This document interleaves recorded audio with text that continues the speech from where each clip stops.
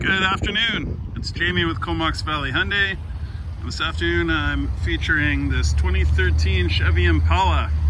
Uh, this one is in excellent condition. Uh, when you look inside, uh, you'd think you're in a new car. So, but a 2013, uh, fairly low kilometers on this one, and uh, and it's in excellent shape. So, uh, I have checked and we've got no accident or no reported accident history on this one, and and like I say, just real nice sedan.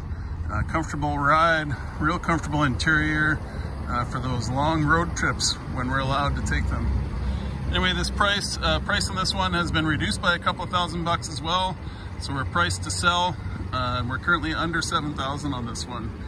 So we'll have a, just a quick look inside here. Uh, plenty of room in this four-door sedan.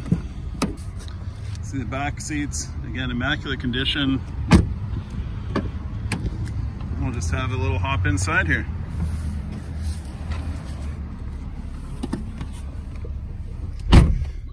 Again, just very clean interior, almost like it's new, real nice wood grain paneling there.